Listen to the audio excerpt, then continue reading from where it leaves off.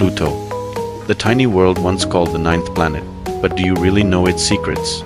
Located nearly 5.9 billion kilometers from the Sun, Pluto is a frozen dwarf planet at the edge of our solar system. Its surface temperature?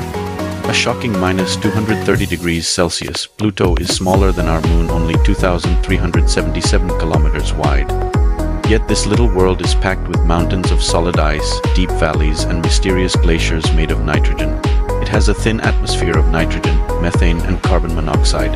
When Pluto gets closer to the Sun during its long orbit, this atmosphere expands. And when it moves away, it freezes and falls back to the surface. A year on Pluto?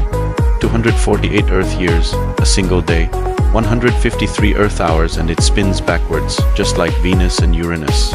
Pluto has five moons, including Charon so big that Pluto and Charon orbit each other like a double world. Small, cold, distant. Yet one of the most fascinating worlds we've ever discovered.